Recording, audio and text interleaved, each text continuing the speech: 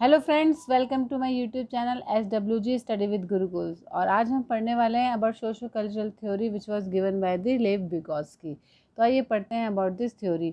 तो ये this theory was given by the Lev की इन ट्वेंटी सेंचुरी एंड उन्होंने ये थ्योरी दी थी ऑन द कॉग्नेटिव डेवलपमेंट मतलब मानसिक विकास के ऊपर दी थी बच्चों के। उनका कहना था कि सोशल कल्चरल थ्योरी जो है ऑफ़ कॉग्नेटिव डेवलपमेंट की, इसका मेन फोकस रहता है कि बच्चों का मानसिक विकास जो है सोशल इंटरेक्शन से होता है। उनका मानना था, वो बिलीव करते थे कि जो अर्ली चाइल्डहुड होता है, बच्चे जो है, जो सीखते हैं, वो सीखते हैं अपने पेरेंट्स से, अपने पीयर से, अपने सिबलिंग से, अपने टीचर से। So he propose the concept of the social learning and उनका मानना था कि जो मानसिक विकास है, जो भी नॉलेज बच्चे गेन करते हैं, वो गेन करते हैं because of social interaction and social learning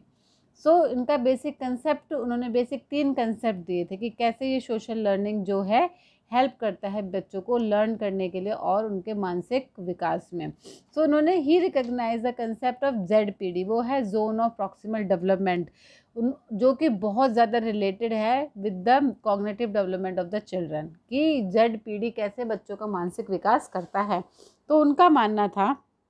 उनकी थ्योरी में था कि जो जोन ऑफ़ प्रॉक्सिमल डेवलपमेंट है इसका मेन फोकस होता है कि कैसे बच्चे किसी भी टास्क को इंडिपेंडेंटली कर पाएँ with the help and guidance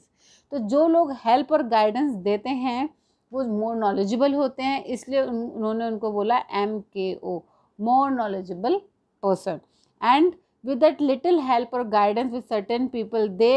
will be able to perform the task successfully और उसकी वजह से वो जो है, कोई भी टास्क सक्सेसफुली कर पाते हैं, उस हेल्प को उस गाइडेंस को उन्होंने बोला स्कैप फोल्डिंग जो कि हम अभी आगे पढ़ने वाले हैं। तो मेन तीन कंसेप्ट उन्होंने दिए। तो पहले पढ़ते हैं जोन प्रॉक्सिमल डेवलपमेंट के बारे में। तो जोन प्रॉक्सिमल डेवलपमेंट में जैसे कि उन्होंने बताया कि अगर there is a presence of someone who has better skills जिनके पास बेटर स्किल्स होती हैं, ज़्यादा नॉलेज होती है बच्चे से बच्चे को सिखा सकते हैं, उनको बोलते हैं मोर नॉलेजेबल अदर या मोर नॉलेजेबल पर्सन तो उनको उन्होंने एम के ओ का नाम दिया मोर नॉलेजेबल अदर ये वो लोग होते हैं जो कि इंस्ट्रक्शंस देते हैं एंड वो इनिशिएट करते हैं लर्निंग प्रोसेस एंड यही गाइडेंस और हेल्प को जो टेम्प्रेरी सपोर्ट को उन्होंने नाम दिया स्कैफोल्डिंग तो उनका कहना था, बच्चे में पहले कोई भी टास्क सीखना चाहते हैं, जैसे कि साइकिल ही चलाना चाहते हैं तो उनमें कॉन्फिडेंस नहीं हो तो उनको लगता है वो नहीं कर पाएँगे। But with the help and support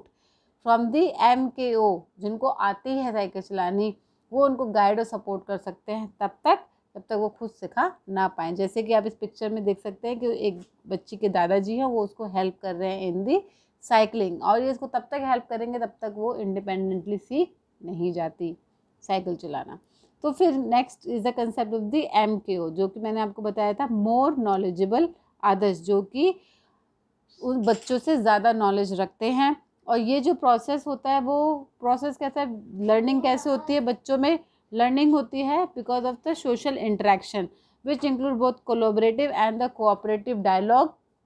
with the more skilled person जब वो जब बच्चे जो है ज़्यादा स्किल्ड बच्चों के साथ पेरेंट्स के साथ टीचर्स के साथ ट्यूटर्स के साथ पीयर्स के साथ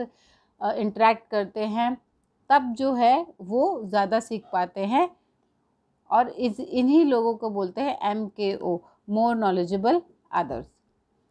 जैसे कि आप देख सकते हैं स्कूल में टीचर्स होते हैं, घर पे पेरेंट्स होते हैं और जब वो खेलने जाते हैं तो पीयर्स होते हैं तो इन सबको बोलते हैं M K O more knowledgeable others next मैंने बताया था आपको स्कैफोल्डिंग स्कैफोल्डिंग में लेवगॉस्की ने क्या बताया which is very close related with the zone of proximal development जो भी temporary support guidance help more knowledgeable person देते हैं बच्चे को, और वो तब तक देते हैं जब तक वो खुद से इंडिपेंडेंटली काम नहीं कर पाता मतलब कोई भी टास्क नहीं कर पाता। जैसे कि बच्चा अगर चल नहीं पा रहा है या साइकिल ही चला रहा है तो तब तक सपोर्ट दी जाती है जब तक वो खुद चलाने ले। And it includes both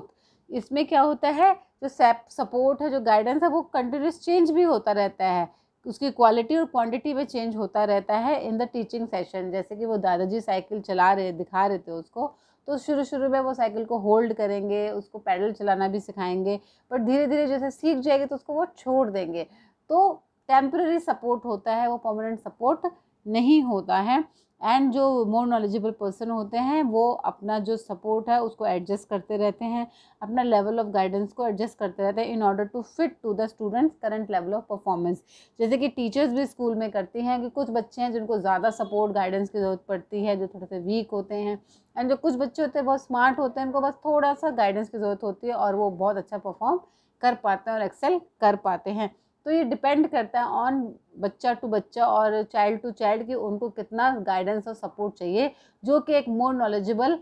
person को या मोर नॉलेजेबल अदर्स को ध्यान रखना चाहिए। तो ये है ले विगोस्की की थ्योरी जो कि एक डायग्राम से रिप्रेजेंट की जा सकती है कि जब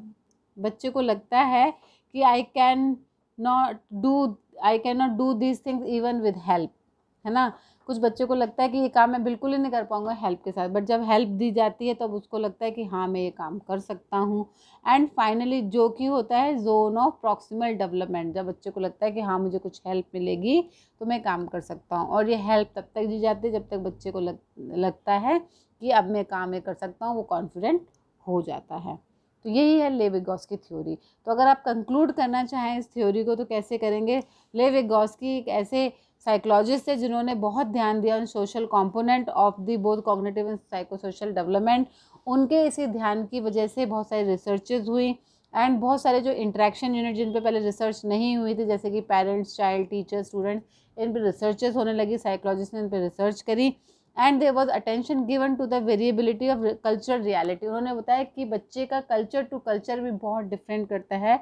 मानसिक विकास, उनका कॉग्नेटिव डेवलपमेंट बहुत डिपेंड करता है। तो उनका कहना था कि it is not good to compare the developmental milestone of children from one culture to another culture मतलब है ये कहने का कि अगर एक बच्चा एक कल्चर में डेवलप हुआ है और दूसरा बच्चा दूसरे में हुआ है तो उनको कंपेयर करना सही नहीं है। फॉर एग्ज़ाम्पल अगर एक बच्चा एशिया में हुआ है एक बच्चा अफ्रीका में हुआ है और आप उन दोनों के माइलस्टोन्स को कंपेयर कर रहे हो, उनके मानसिक विकास को कंपेयर कर रहे हो तो ये सही नहीं है। तो इसी को बोलते हैं उनकी social cultural theory I hope आपको ये कंसेप्ट उनका क्लियर आया होगा। अगर आपको ये कंसेप्ट क्लियर हुआ है तो प्लीज़ शेयर एंड सब्सक्राइब करिए लाइक करिए अगर आपको पसंद आए, और कमेंट करना ना भूलिए। Thank you